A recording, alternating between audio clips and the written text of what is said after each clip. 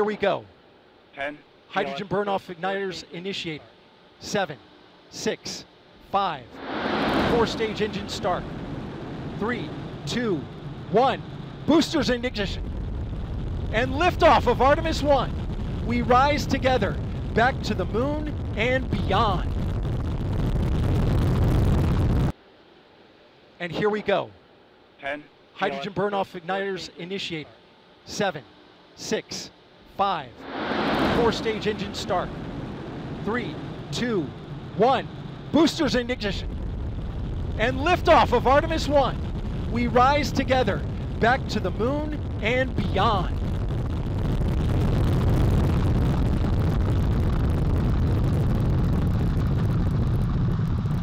All four RS-25 engines on the core stage and two solid rocket boosters now propelling the vehicle at 128 miles per hour.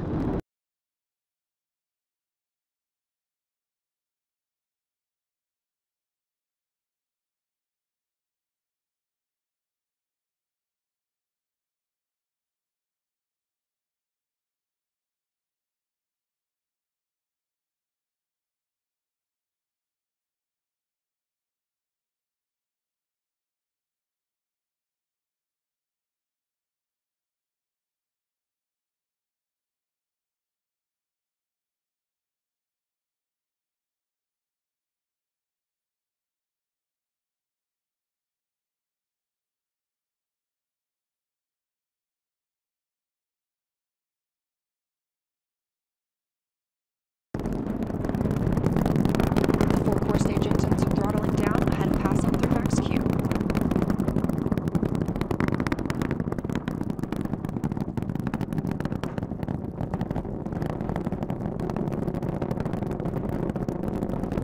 Now 1 minute 21 seconds into the flight, traveling at 1,420 miles per hour.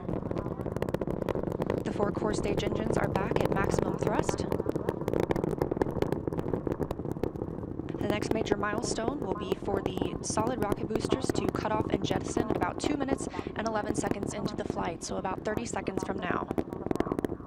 Again, quiet here in Mission Control Houston as teams continue monitoring the flight of Artemis 1. We're now 16 miles downrange from the launch pad at Kennedy Space Center, traveling over 2,800 miles per hour.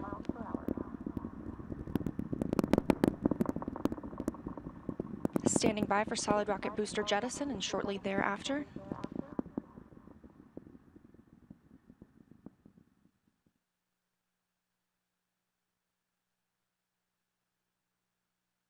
Confirmation that the solid rocket boosters have separated these 177 foot boosters. Now the core stage continues to power the flight of Orion, all four RS-25 engines firing, traveling over 3,400 miles per hour, 46 miles downrange.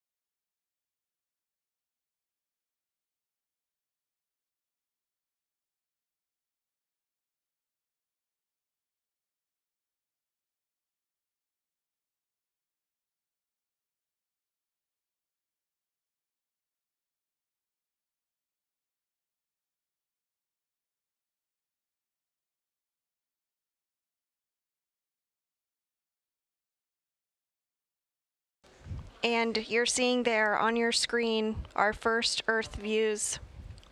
This view of Earth captured from a human rated spacecraft not seen since 1972 during the final Apollo mission some 50 years ago. The views of our blue marble in the blackness of space now capturing the imagination of a new generation, the Artemis generation.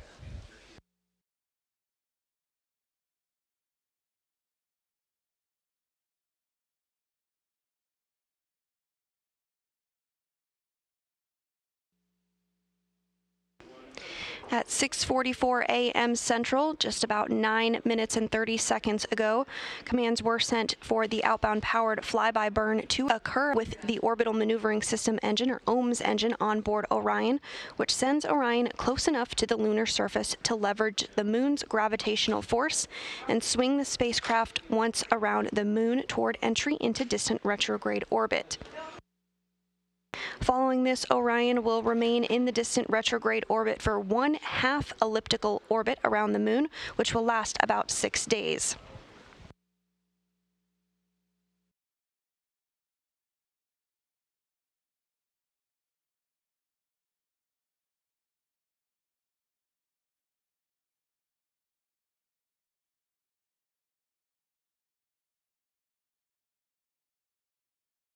Now to distant retrograde orbit or DRO. We're going to be about 38,000 miles away from the lunar surface as we orbit around. That's part of why we're calling it distant.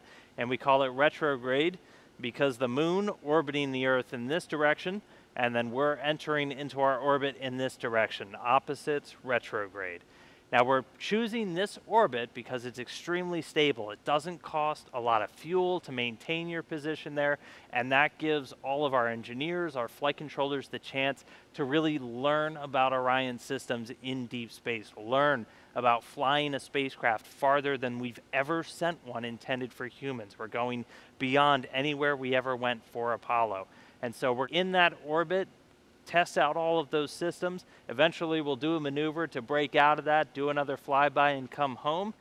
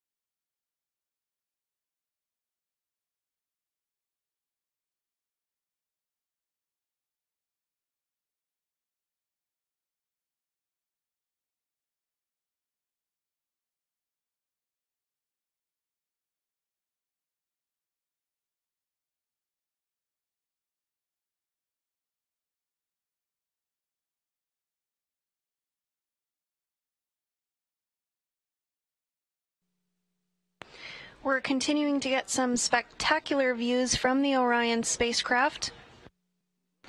From this view, Orion is 1,277 miles above the lunar surface following its return powered flyby burn, which sent it around the backside of the moon. Orion now has its sights set on home. This view is from one of the solar array wing or SAW cameras on board the vehicle. The vehicle now over 1,680 miles away from the moon. And that small sliver towards the bottom of your screen, that's here, that's home, that's us. And that is where Orion is headed next.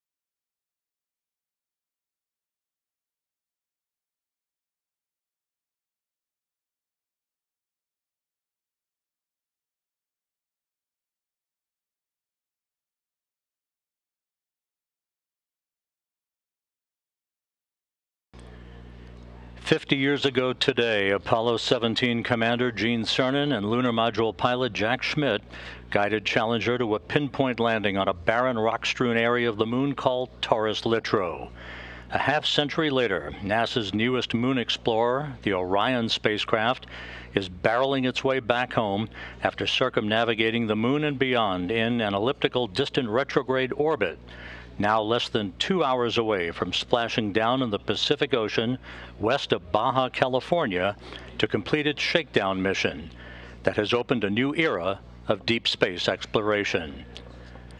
Thank you, Philip. And again, uh, a live view of Orion closing in on planet Earth, now about uh, 11,000 miles away from Earth, as it uh, continues a, a very, very precise trajectory uh, for a splashdown that is scheduled at 11:39 and 42 seconds a.m. Central Time this morning.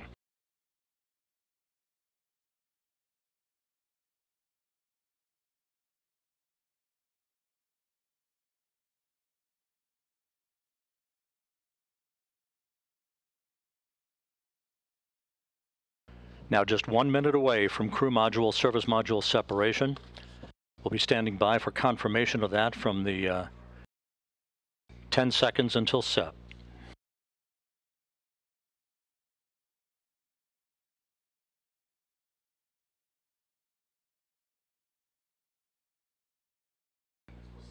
We have confirmation of separation. Orion flying on its own. Again, uh, the separation occurred right on time at 11 a.m. and 11 seconds Central Time with Orion 3200 statute miles away from Earth. The European Service Module has done its job. Just one minute away from entry interface.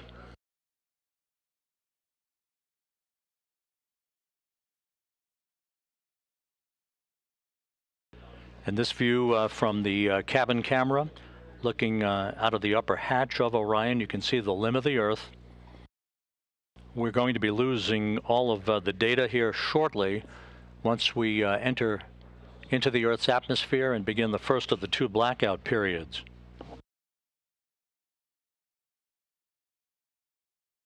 Again, uh, this is a uh, visualization of what should be happening with Orion at the moment, although we are in a blackout period that should end about 3 minutes and 15 seconds from now. And we have data from Orion. Orion out of the blackout period. Flight Dynamics reports that Orion is right on the money, coming right down the pike. A good view out of the uh, cabin camera looking out of the uh, upper hatch of Orion.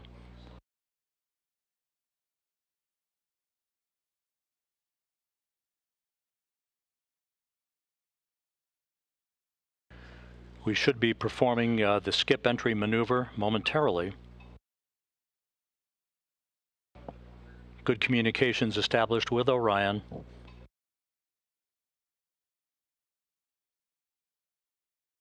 This view on the deck of the USS Portland.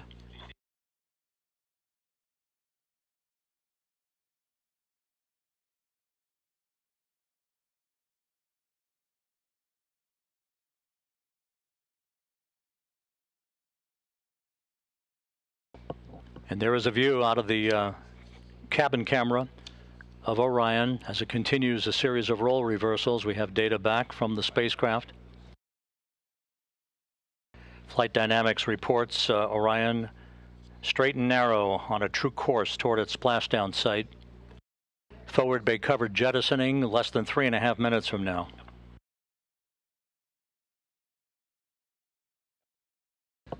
One hundred fifty thousand feet off the ocean.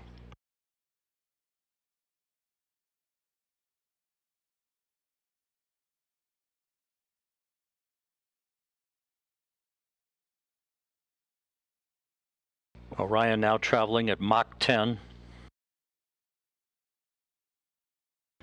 Orion now at 50,000 feet.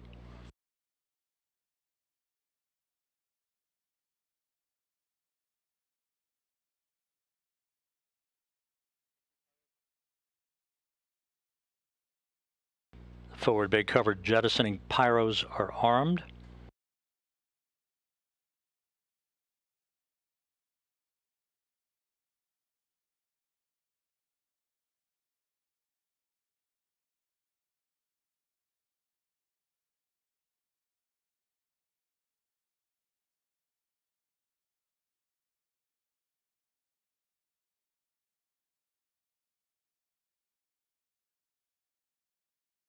25,000 feet.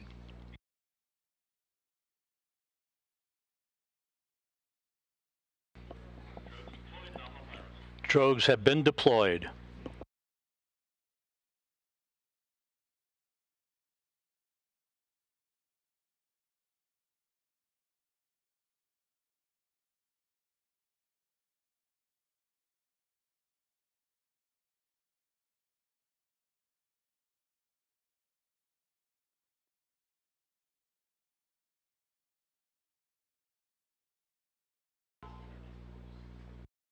Two good drogue chutes reported by uh, the recovery team out in the Pacific. The descent rate is right on the money. Orion's uh, velocity now down to 282 miles an hour. Range to splashdown one and a half miles. 10,000 feet now.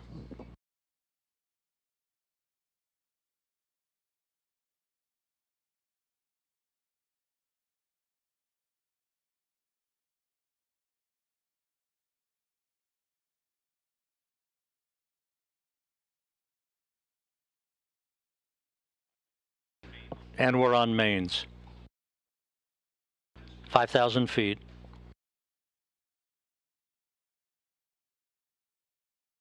Reefing in progress.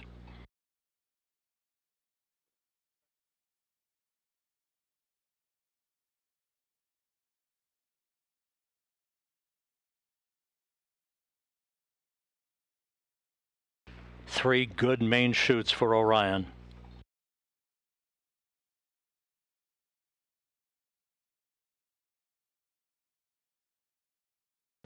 We have three fully inflated main chutes. Time to splash down 90 seconds. Perfect descent rate reported.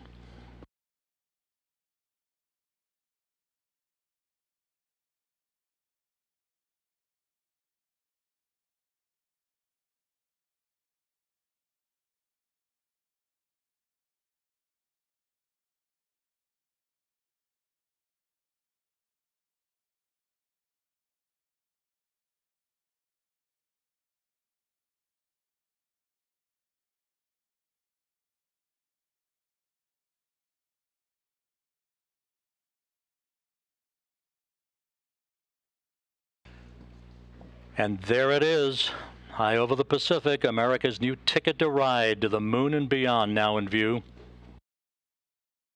Orion under its chutes descending toward splashdown.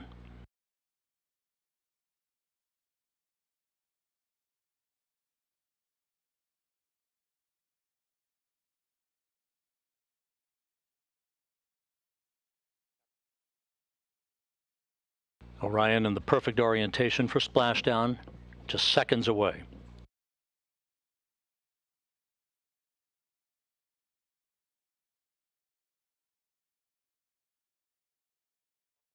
One thousand feet.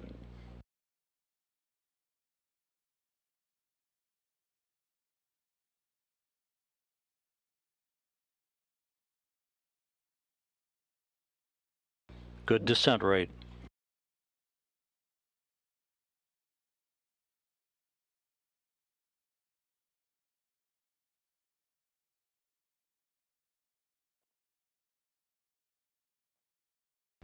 Five hundred feet.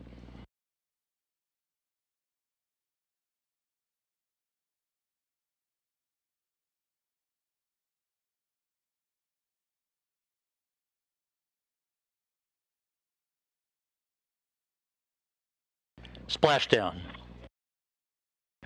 From Tranquility Base to Taurus Littrow to the tranquil waters of the Pacific, the latest chapter of NASA's journey to the moon comes to a close.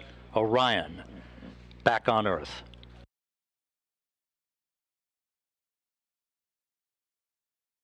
Orion is in great shape, stable one, just in the orientation that had been expected.